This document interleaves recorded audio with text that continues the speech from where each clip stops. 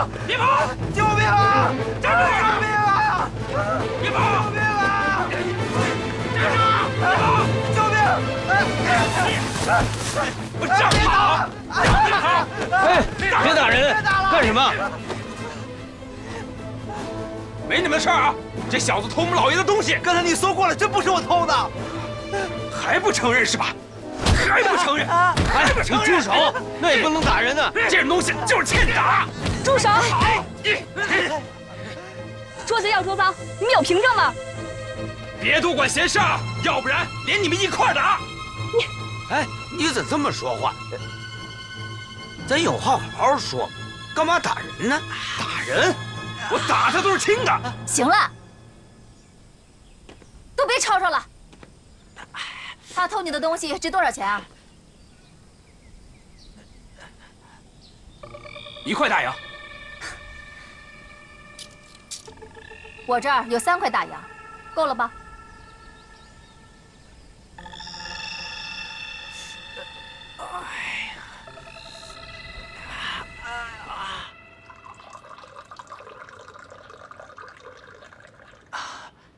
谢谢婶子。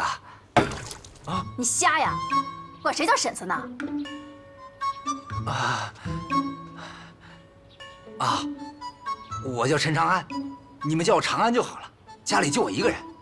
我叫骡子，呃，这是静平，这位是曼丽小姐。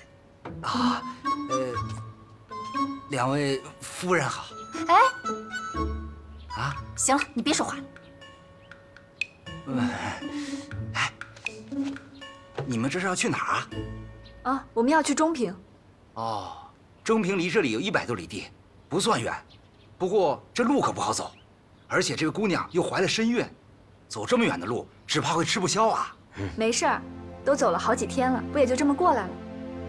啊，前些日子啊，一大队的滇军来过我们村，把村里所有的牲口还有带轱辘的都整走了，说是要运伤兵，要不然我还能给你们找辆板车呢。没关系，也没多远了。兄弟啊，刚才打你的那都是什么人？他们啊，是村里大户包老爷家的狗腿子，平日里就知道欺负我们这些苦命人，那他们为什么说你偷东西呢？就是为了不给我们工钱，他们经常会找这样的借口。这帮人天天骑在老百姓头上作威作福，迟早有一天要跟他们算这个总账。长安大哥，啊你不能怕，哪里有压迫，哪里就要有反抗，你要站起来跟他们斗啊！哎呀，行了行了啊，斗什么斗啊？看把你能的，挺个大肚子，还那么横，你能不能长点心呢？啊，就是看不惯他们，看不惯，哼！哎，人凭什么非得让你看得惯呢？啊，你谁啊？都要当妈的人了，别老那么彪呼呼的，行吗？听见没？听见了听见了。骡子大哥，这么快就走了？哎，天太晚呢，就不好赶路了。哎，你们再休息几天吧。长安大哥，啊真的不打搅了，我们已经都歇好了。骡子大哥，那就让我再送你们一程吧。哎，不用，我们知道怎么走。哎呀，骡子大哥，你也看见了，我这家里什么都没有，你们今天救了我的命，我都没有什么可以报答你们的。如果不让我做点什么，我这心里过意不去啊。哎呀，您太客气了。不，骡子大哥，真不是跟您客气，您就如了我的愿吧，好吗？那就别整虚的了，提着，走吧。我来，不不不，哎呀，不走，不不不，我来我来我来，可以，我来我来我来我来。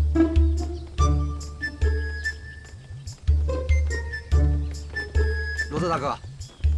走这边的话可以节省大半天的时间，就是路稍微难走了点儿。有多难走啊？啊，其实也就是多了几个上坡下坡，我这不是怕静平姑娘不方便吗？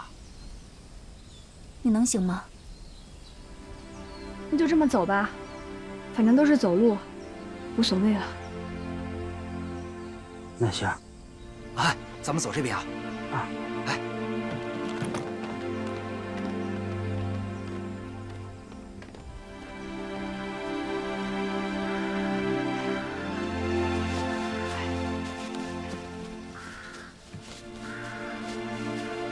这路也没你说的那么邪乎啊，只是慌了点儿。这死个人啥的，真不一定找得着。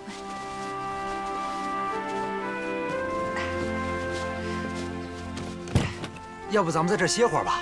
啊，行，歇会儿吧。好，累死，坐会儿吧，小心点啊！坐那儿吧。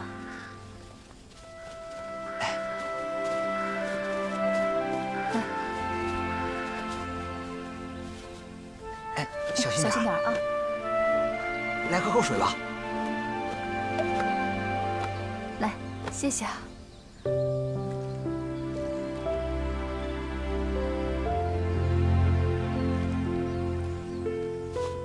长安大哥啊，你要是回去，这包老爷还找你麻烦怎么办呢？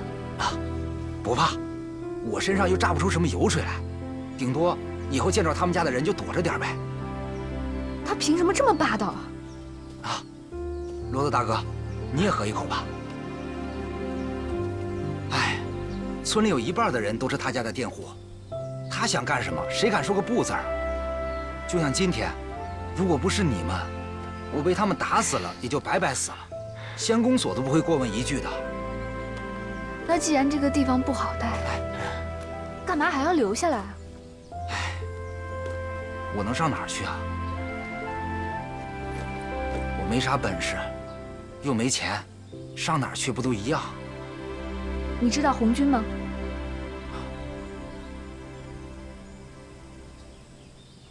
赤匪？红军？红军怎么能是赤匪呢？他们一路打家劫舍，不是赤匪是什么？那是国民党骗你们的。红军是咱们穷人的队伍，为的就是让咱们穷人能翻身做主人。穷人还能做主人？哼，听着都新鲜。你们该不会是？是的，我就是红军。啊？呃，你又犯标了是吧？别算上我啊！长安大哥，啊？要不然跟我走吧，我就是要去找红军的。啊，好啊。只不过，你们可能都见不着红军了。